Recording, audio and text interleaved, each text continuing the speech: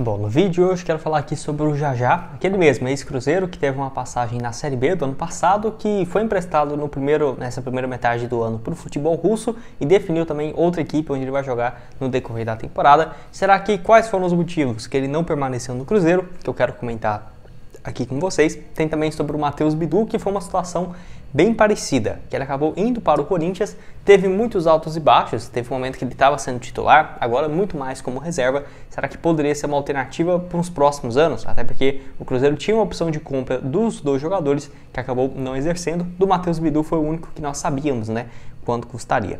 E enfim, quero comentar aqui com vocês nesse vídeo de hoje. Só antes de começarmos, aproveite aqui ó, para deixar seu like, também se inscrever no nosso canal. Eu me chamo Gustavo, esse aqui é o canal Cruzeiro News. Estamos bem perto dessa, dessa meta nossa aqui, ó, de 40 mil inscritos no YouTube. Falta um pouco mais de 550 é, inscritos aqui no canal. Então, se você não se inscreveu, considere aqui a clicar nesse botão de se inscreva-se e ajudar a gente aqui esse objetivo. Tem também o nosso canal de cortes, cortes do Cruzeiro News. Por lá eu posto os trechos mais curtos dos vídeos, tá aqui aparecendo também na tela para vocês.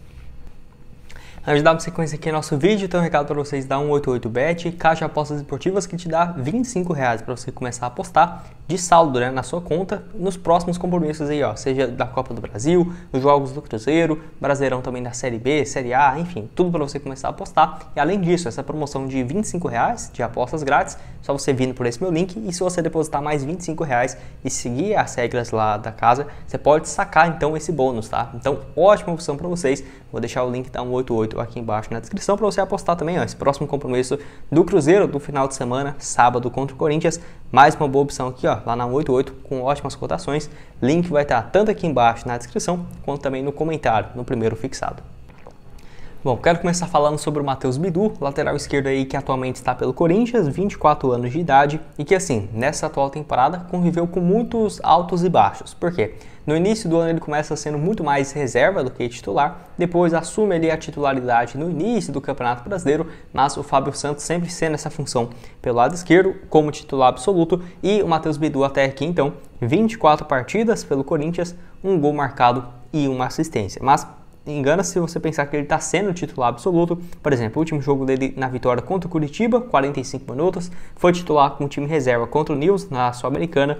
Antes disso também jogou pela Sul-Americana, titular na vitória de 2 a 1 em casa e entrando apenas em minutos finais em partidas no Campeonato Brasileiro, sendo muito mais um jogador reserva mesmo, né, para entrar no segundo tempo ou na Sul-Americana do que um titular que vai roubar a posição nesse setor. Lembrando que na temporada passada ele teve também esses momentos pelo Cruzeiro, porque Começa o ano e o Rafael Santos era o titular na lateral esquerda, com ótimos números até então. Aí ele assume a titularidade com o Pesolano, principalmente ali ó, naquela reta final do Campeonato Estadual e basicamente no início da Série B, onde somou pelo Cruzeiro 39 partidas, 3 gols marcados e 3 assistências. O Cruzeiro tinha uma opção de compra muito alta, era quase 6 milhões de reais para comprar, comprar o atleta do Guarani, que acabou que o Cruzeiro não comprou ele e ele foi para o Corinthians por um valor bem inferior a isso, tá?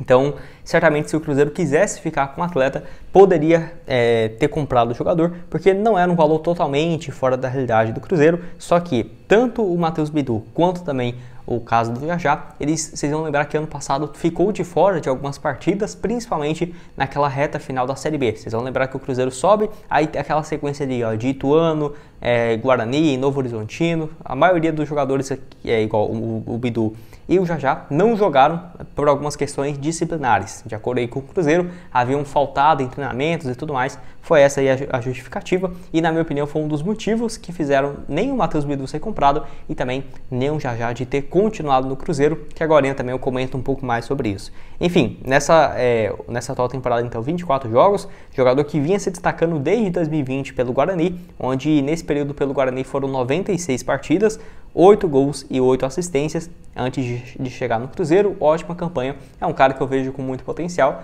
Não ficaria surpreso se daqui a algum tempo também ele estivesse jogando como titular né, pelo Corinthians. Enfim, era um jogador que eu pensava que o Cruzeiro poderia comprar, acabou que não fez. E pelo menos nesse setor de lateral esquerdo, eu acho que é um dos poucos setores que o Cruzeiro realmente desde o início do ano não teve problema algum, né? Porque, tudo bem, começa ali com o Marquinhos Cipriano jogando ali, ó, mas acho que ele jogou 3, 4 jogos e logo o Cruzeiro já trouxe o Marlon, já recuperou também o Kaique e hoje são, na minha opinião, um dos melhores laterais esquerdos do Brasil.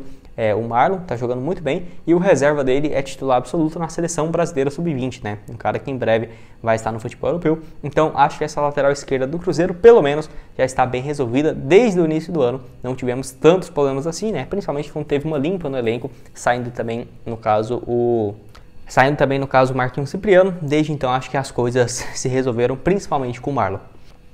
Bom, e outro que eu quero falar aqui com vocês é sobre o Jajá. Ele que é dois anos mais novo, tá aí com seus 22 anos de idade e assim, teve uma boa atuação realmente pelo Cruzeiro no ano passado onde ele faz sua estreia naquele jogo da ida contra o Remo na Copa do Brasil, fora de casa. Jogou muito bem aquela, aquela reta final da partida e assim, o Cruzeiro desde então utilizou bastante o jogador que já tinha se passado algumas rodadas né, do Campeonato Mineiro e ele chega mais para a reta final e para o início da Série B, onde somou pelo Cruzeiro 21 partidas apenas 4 gols e 2 assistências. A grande questão é que ele ficou lesionado por muito tempo, tá? Ele se lesionou naquela partida lá no dia 12 de junho contra o Vasco e voltou só em meados de agosto, é, acho que foi quase dois meses e meio depois, num duelo contra o Náutico, que ele faz um dos gols, né? Na goleada por 4 a 0 um golaço de fora da área e tudo mais é, nessa partida, somando aí, então 4 gols, 2 assistências em 21 jogos.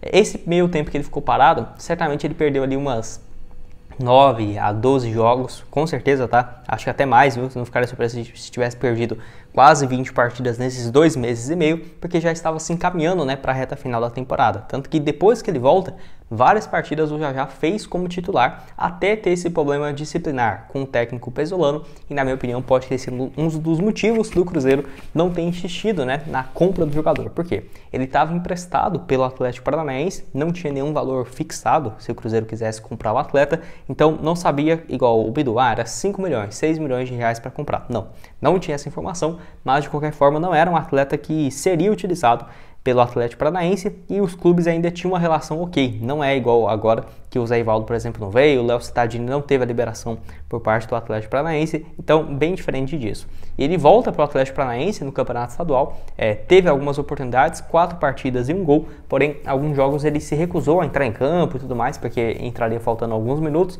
no Campeonato Estadual. Enfim, a diretoria não gostou disso e emprestou ele, foi lá para o Torpedo, clube que estava jogando a primeira divisão do futebol europeu. Foram apenas sete partidas, não marcou nenhum gol e nenhuma assistência, voltou, ficou aí mais de um mês, né, sem clube, treinando no Atlético Paranaense e assinou então um contrato com Casa Pia FC, é, clube da primeira divisão do futebol português, e vai jogar então lá na, no futebol europeu. É um cara que sinceramente eu vejo que tem sim muito potencial.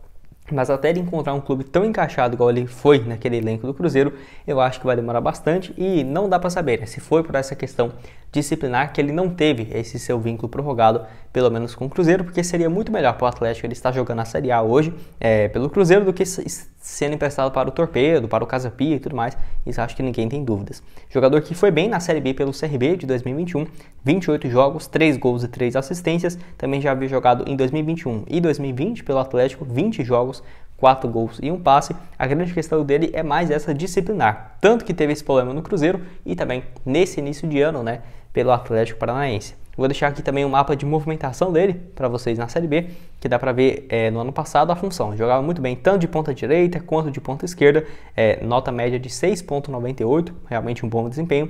19 partidas, 13 como titular, 4 gols e 2 assistências. Então, certamente, se ele tivesse aquela sequência ali, ó, que ele ficou dois meses e meio parado como titular, teria jogado com muito mais frequência, né? Certamente. De 19 partidas, ele jogou 13 como titular. E, enfim, poderia ter números ainda mais interessantes.